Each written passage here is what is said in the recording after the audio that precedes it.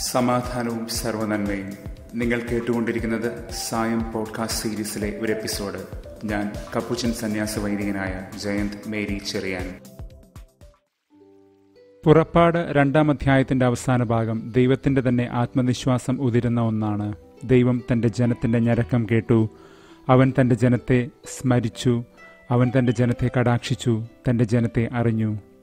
ഇത്രയും നാൾ ദൈവത്തെ സാമാന്യനായി ദൈവം എലോഹിം എന്ന് മാത്രം അറിഞ്ഞിരുന്ന ജനം ഇനി ദൈവത്തിന്റെ വ്യക്തിപരമായ അറിവിലേക്ക് കടക്കുകയാണ്. മോശ എന്ന സമാനതകളില്ലാത്ത പ്രവാചകനിലൂടെ ഒരു ജനതയുടെ ദൈവബോധം അടുത്ത പടി കയറുന്നു. പുറപ്പാട് മൂന്നാം അധ്യായം. യാഹ്വെ കർത്താവായ ദൈവം ദൈവം തന്നെ തന്നെ വെളിപ്പെടുത്തുകയാണ്. അവിടുന്ന് തന്റെ സ്വഭാവത്തെയും ആന്തരിക ജീവിതത്തെയും വെളിവാക്കുന്നു. ഇനി വിശ്വാസത്തിന്റെ പുതിയ ഭാവവും കണ്ണുകളുമാണ് നമുക്ക്. മോശ തന്റെ അമ്മായിയപ്പന്റെ ആടുകളെ മേയിച്ച് ദൈവമലയുടെ ഓരത്തെത്തുകയാണ്. ഇന്നലെ ഏഷ്യ അറുപത്തിമൂന്ന് പതിനൊന്ന് പറഞ്ഞതുപോലെ നാഥന്റെ ഇടയന്മാരുടെയെല്ലാം ഇടയനാണ് മോശ. അവന്റെ മഹത്തായ ഈ വിളിയുടെ ഒരു ചെറു ചുവടാണ് അവന്റെ ഈ ഇടയ ജീവിതം. കഴിഞ്ഞ ഞായറാഴ്ച ആമോസ് പറഞ്ഞതുപോലെ ദാവീദിനെക്കുറിച്ച് പറയപ്പെട്ടതുപോലെ ആടുകളുടെ ഇടയിൽ നിന്നും ദൈവം ഉയർത്തിക്കൊണ്ടുവന്ന ഇടയന്മാർ. ജനത്തിന്റെ നിലവിളി സ്വർഗം ഭേദിക്കുകയാണ്. ആ വിളിക്ക് ഉത്തരം കൊടുക്കാൻ ദൈവം ഇറങ്ങി വരാനൊരുങ്ങുന്നു പുറപ്പാട് രണ്ടിന്റെ അവസാനം ഉരുവം കൊള്ളുന്ന ദൈവത്തിന്റെ അപ്രതിരോധ്യമായ ഈ ഉദ്യമത്തിന്റെ ഏറ്റവും ബലിഷ്ഠമായ ഉപകരണമായി മോശയെ ദൈവം വിളിക്കുകയാണ്. മോശയിലൂടെ നിവർത്തിതമാകാൻ പോകുന്നത് സ്വർഗത്തിന്റെ തന്നെ തീരുമാനങ്ങളുമാണ്. തീ പിടിച്ചിട്ടും എരിഞ്ഞടങ്ങാത്ത മുൾപ്പടർപ്പ് മോശ അങ്ങ് ദൂരെ കാണുന്നു. ഉണക്കപ്പുൽ പ്രദേശങ്ങളിൽ പുല്ലുകൾക്ക് തീ പിടിക്കുന്നത് ഇതാദ്യമായിട്ടല്ല. പക്ഷേ അത് തീ പിടിച്ചിട്ടും എരിഞ്ഞടങ്ങാത്തത് ഇത് ആദ്യമായിട്ട് തന്നെയാണ്. അതുകൊണ്ട് തന്നെ ഈ വിസ്മയ രഹസ്യത്തെ അടുത്തു നോക്കി കാണാൻ മോശ ചെല്ലുന്നു. വിശുദ്ധ ഗ്രന്ഥകാരൻ ദൈവത്തെ വിവരിക്കുമ്പോൾ കർത്താവ് യാഹ്വേ എന്ന് ഈ ഭാഗങ്ങളിൽ കുറിക്കുന്നുണ്ട്. അതേസമയം മോശയാകട്ടെ ദൈവത്തെ ദൈവം എലോഹിം എന്ന് തന്നെയാണ് അഭിസംബോധന ചെയ്യുന്നത്. ദൈവം എന്ന സാമാന്യ ബോധ്യത്തിൽ നിന്ന് ആഴമുള്ള വ്യക്തിപരമായ കൂടിക്കാഴ്ചയിലേക്ക് അവൻ കടന്നു വരുന്നതേ ഉണ്ടായിരുന്നുള്ളൂ. നാഥൻ മോശയെ വിളിച്ചു മോശെ മോശെ അടിയന്തര സ്വഭാവമുള്ള ഒരു ദൗത്യം ഏൽപ്പിക്കാനുള്ള സ്വരമാണ് ഇങ്ങനെ പേര് ഇരട്ടിപ്പിച്ച് വിളിക്കുന്നതിൽ നിന്ന് നാം മനസ്സിലാക്കുന്നത്. മോശ അനുസരണയോടെ വിളി കേൾക്കുന്നു എന്റെ ജനം എന്ന ദൈവം പലയാവർത്തി പറയുന്നുണ്ട് ഈ ഭാഗത്ത്. സ്വന്തം മക്കളെക്കുറിച്ച് സംസാരിക്കുന്ന മാതാപിതാക്കന്മാരുടെ ഹൃദയവായ്പ പോലെ. ഇതിനു മുൻപത്തെ ഭാഗങ്ങളിലെല്ലാം ഈ ഗ്രന്ഥത്തിൽ ഈജിപ്ഷ്യൻ വ്യവഹാരങ്ങളിൽ ഇവർ ഹെബ്രായ ജനത എന്ന് മാത്രമാണ് വിളിക്കപ്പെടുന്നത്. എന്നാൽ നാഥൻ ഇവരെ വിളിക്കുന്നത് ഇസ്രായേൽ മക്കളെന്ന് തന്നെയാണ്.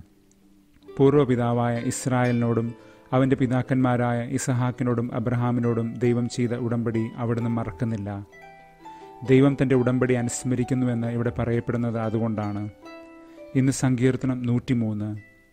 അചഞ്ചലമായ അവിടുത്തെ കാരുണ്യത്തെ ധ്യാനിക്കുന്ന ഒരു സങ്കീർത്തനമാണിത്. കൃപാകാരുണ്യവും അചഞ്ചലമായ വിശ്വസ്തതയും പ്രകടിപ്പിച്ചുകൊണ്ട് ദൈവം തന്റെ ഉടമ്പടി കാക്കുന്നു. അതിനാൽ തന്നെ സങ്കീർത്തകൻ നമ്മെ ഓർമ്മിപ്പിക്കുകയാണ്. എന്റെ ആത്മാവെ കർത്താവ് നൽകിയ അനുഗ്രഹം ഒന്നും മറക്കരുത്. നമ്മുടെ ആത്മാവിൽ അതായത് ജീവിതത്തിന്റെ ഏറ്റവും ആഴത്തിൽ അത് പതിപ്പിച്ചുറപ്പിക്കണം. ആ സത്യം. കാരണം നമ്മെ അനുഗ്രഹിക്കാൻ ദൈവം ഒരിക്കലും മറക്കാറില്ല.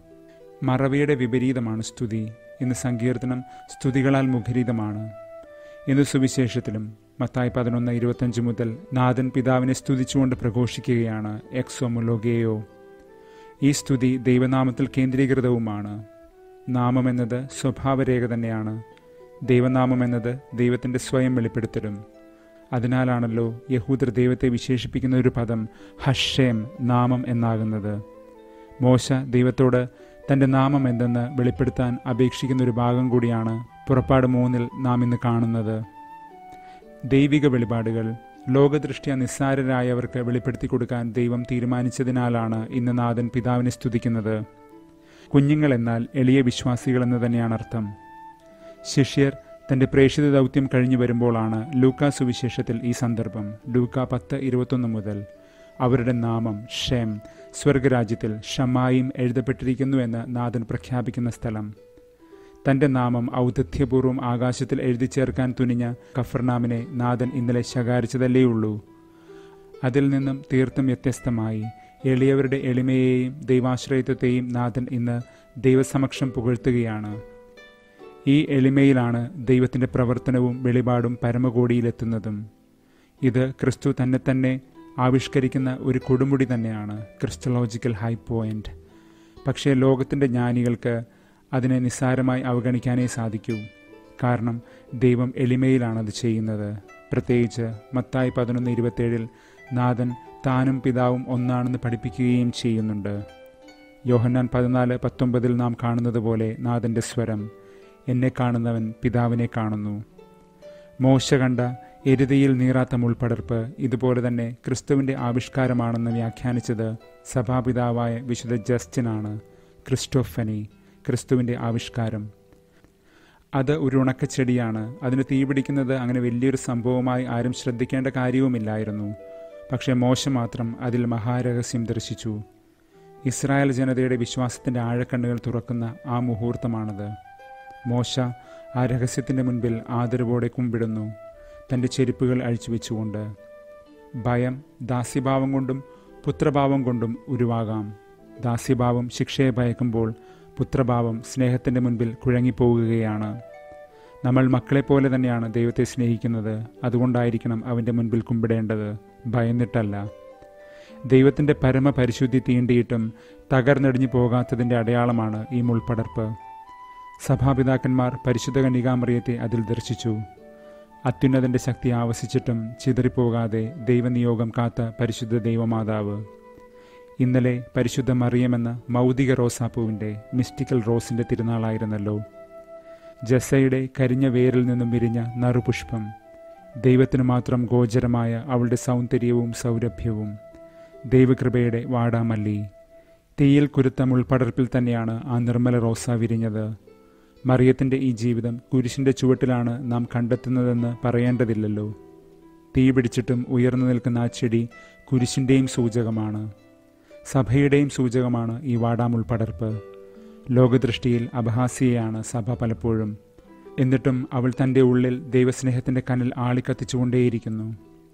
മോശയെപ്പോലെ ദൈവത്തിന്റെ ചൂടിന്റെ മുൻപിൽ അവന്റെ മഹാരഹസ്യത്തിന്റെ മുൻപിൽ ആഴങ്ങളറിയാൻ ശ്രമിച്ച സി എൻ ആയുടെ വിശുദ്ധ കത്രീനായോട് ഒരു ദർശനത്തിൽ ദൈവം പറഞ്ഞു ഈ വാക്കുകൾ ശ്രദ്ധിച്ചുകൊണ്ട് നമുക്ക് ഇന്നത്തെ ധ്യാനത്തിന് വിരാമമിടാം.